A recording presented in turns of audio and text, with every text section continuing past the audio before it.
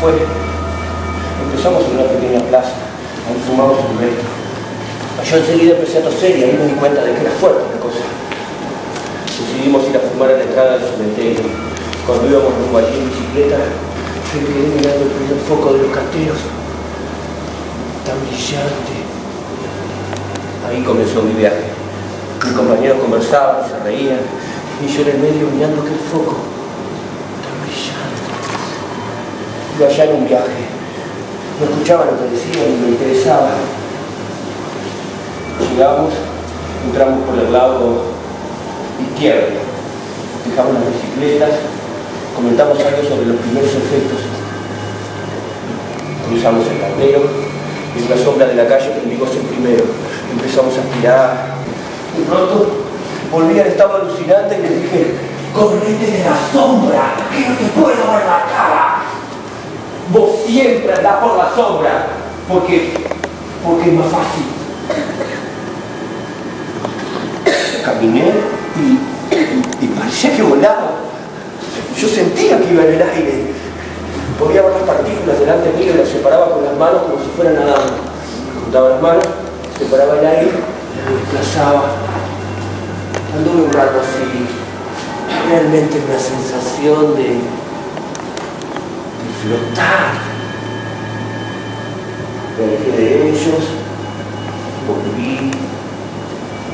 Veo todo desde muy alto.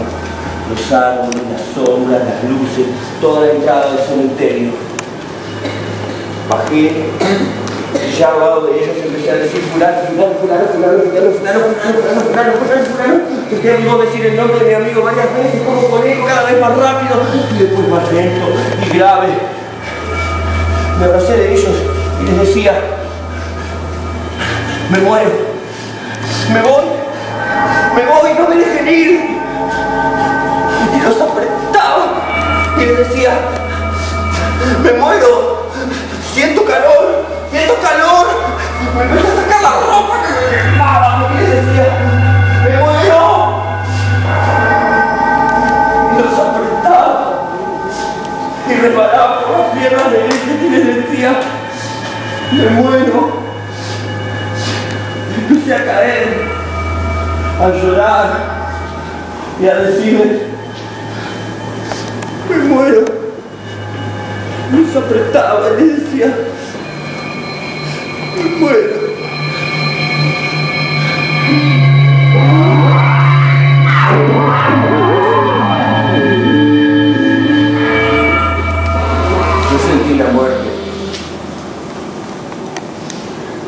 Partículas en un espacio oscuro. Mis compañeros habían desaparecido. Yo estaba muy lejos de ese lugar. Solo. Siento dolor.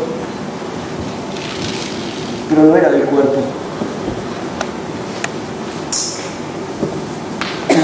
Tengo miedo de quedarme así.